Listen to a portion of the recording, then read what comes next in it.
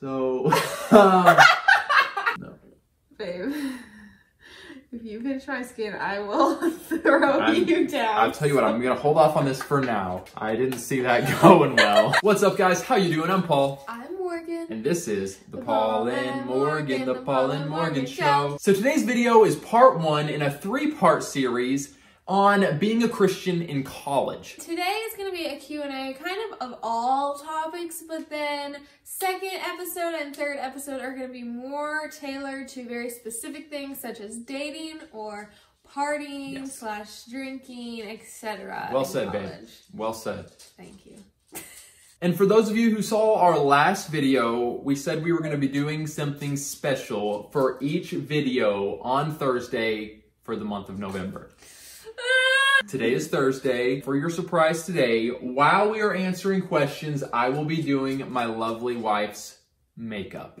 Yeah. I feel like I'm above average in the male makeup. He thinks that he's not though. You've got a great canvas to work with. I'm really going to do something nice with these lips. And I'm really going to make sure I oh. accentuate these cheekbones. If you're new to this channel, make sure you subscribe. We make Christian advice videos on life, love, and dating to help you have hope. and be free. So turn that notification bell on! I just want to say, even though we're going to be having fun and getting goofy, we are taking these questions seriously. We know that a large part of our audience are in college, and we want to be a good resource to you. As some of you may know, I did not even go to college. So some of y'all might be like, why the heck does she think she can give advice? But I have done things such as stepping out, being independent, moving away from family, things like that. And some of the questions that we got related to that. So I feel like I will be able to answer that. Also, I lived vicariously through a few of my friends and went to college with them for a while. She did. So you were like the moocher friend. Yeah. I did go to college, so I will have some some more insight for you guys. All right, first question is how to deal with all the pressure of college and manage time between college and God.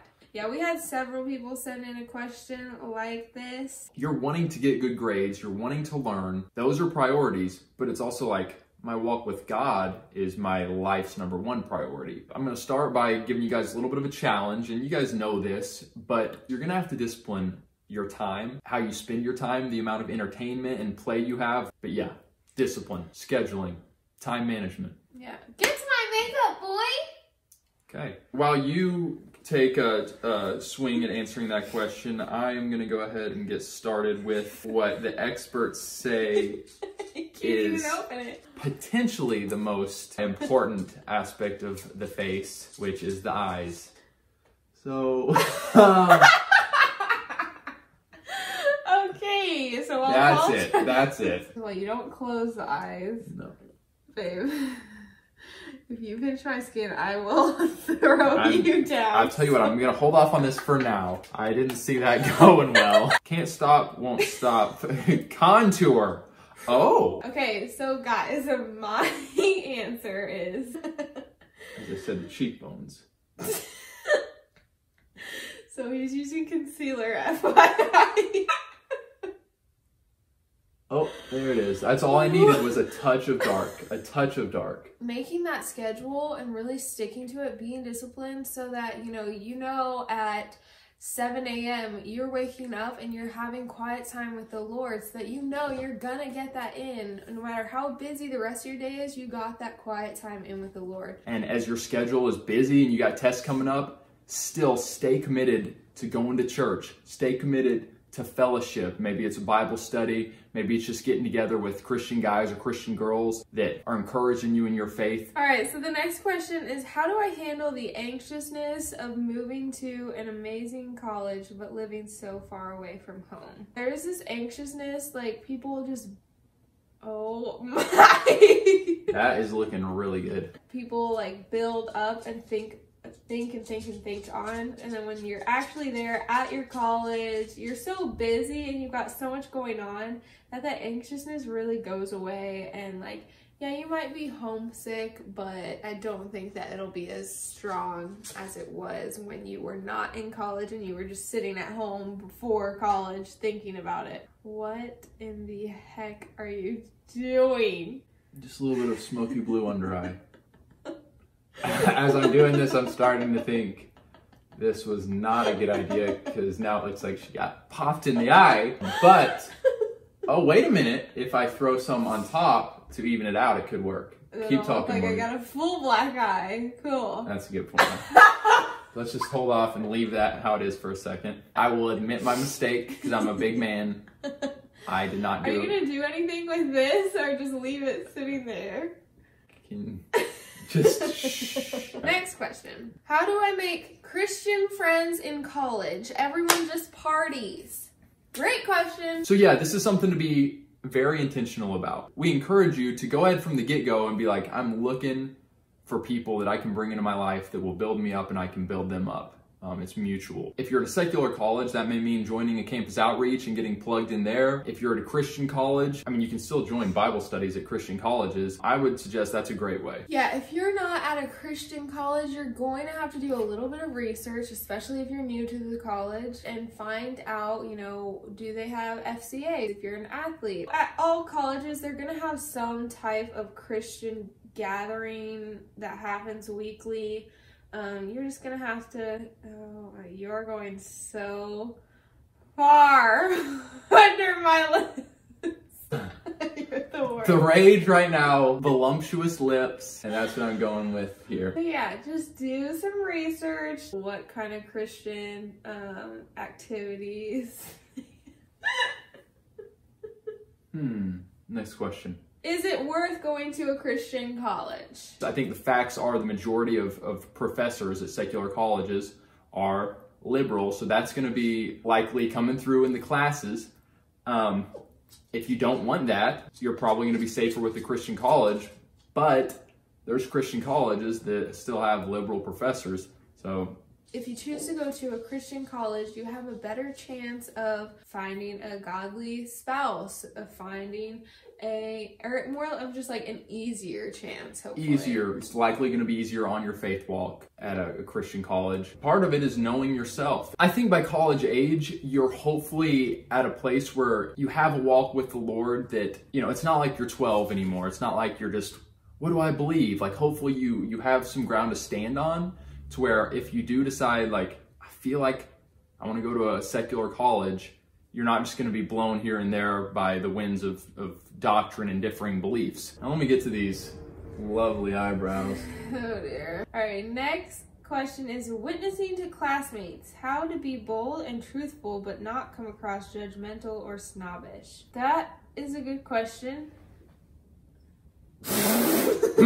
Excuse me. I phlegm, phlegm in my throat. As I was applying it, I didn't see it going on as clearly as I do now. How's it looking, guys? How to be bold and truthful but not come across judgmental and snobbish. Honestly, okay, well, first of all, if you are at a secular college, I think the best way to be a witness, and this is my opinion, Paul might have a different opinion, just be yourself, be a light, be the light that Christ has put in you. Set the example. Say no to going to a party. Invite people to come to your church service with you. Mhm. You don't necessarily have to be so upfront and in their face of like, hey, do you know God that He's gonna save you? Be yourself. Be a joyful light bulb. I think some people are are so like cautious and almost afraid that oh, if I make a stand for righteousness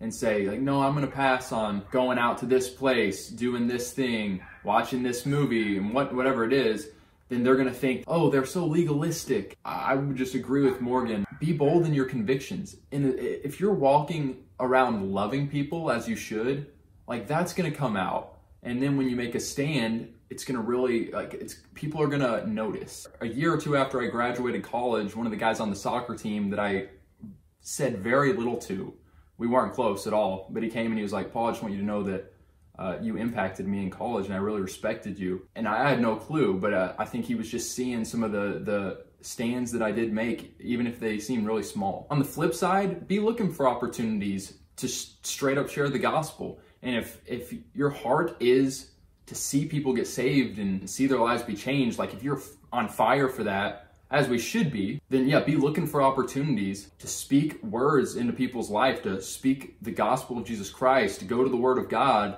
and if they maybe invite you in and ask you questions, like take those opportunities. The Bible says to be prepared in season and out of season. You know, give an account of, of what God's done in your own life. Now, time for a little bit of the cat eye.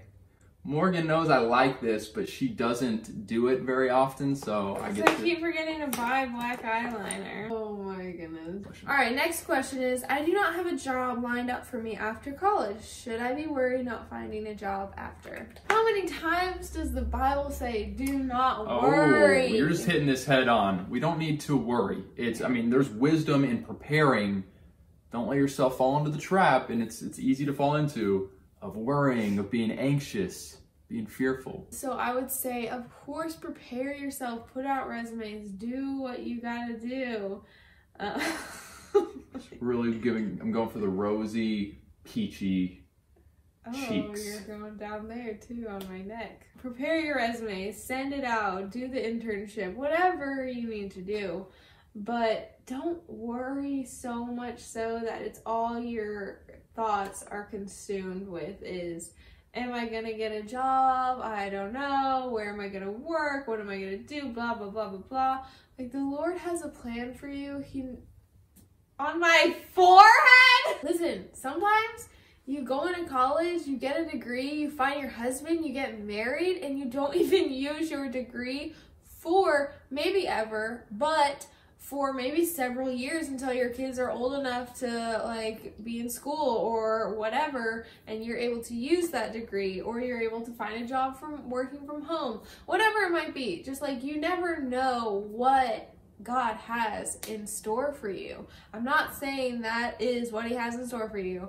I'm just saying be open to the impossibilities that the Lord has. Like his ways are so much higher and so much bigger than anything we could ever dream up. So you might have really high dreams, high hopes. God's dreams and plans and ways are higher and bigger. Prepare as much as you can prepare and then trust that the Lord has the rest of it in his hands. Uh, Morgan, I'm going to finish off with a what they call in the beauty industry the finalizer. Just what I want. It finalizes the work that has been done and you are set and I must admit Stop! Okay, you know what? It's not my best work. but I look sick. I look like a sick lunatic clown. You know what? We're gonna let them decide. My lips. We're gonna. Can you get move a little closer to the camera so they can just get a really good close up of my hey guys, work? How's it going? See how I did my cat eyes for my eyebrows instead of my eyes? oh yeah. Um, they are a little high, actually, now that I see them. And the concealer that he used on my cheeks and didn't blend in at all and just put a random line of that's eyebrow pencil. Accentuating the cheekbones. Uh, I had high hopes for you. and once again, I'll be honest, it isn't my best work. I've, I've grown rusty. All right, guys, comment below. Let us know on a number scale of how my work looks on Morgan. Five being the best, like killed it with a five. One being the worst. Um, I don't expect to see any ones. If I see anything but a one. Let us know in the comments. Also, guys, we want to hear from you. How would you have answered some of these questions? What did you think of our answers? Let's keep the dialogue going in the comment section below. Give this video a thumbs up if you enjoyed our little surprise. And stay tuned for our next little surprise. Make sure you stay tuned for part two in this series where we're going to be discussing dating in college. Dating, relationships, marriage. Is it a good idea to date? All that stuff. And then the video after that, part three, will be partying, drinking. Yeah, we're gonna go there. Thanks for watching, you guys. We love you. Have a wonderful rest of your day. Go college. We'll see you again very soon. Have hope. And be free. You know what she looks like? She looks like a citizen of the capital from Hunger Games. You, I should be a makeup artist for when they sh- reshoot the No. Hunger No. Games series. No. You all tell me, should I be a makeup artist no, for the Hunger Games? Babe. You're never touching a makeup brush again. Hey,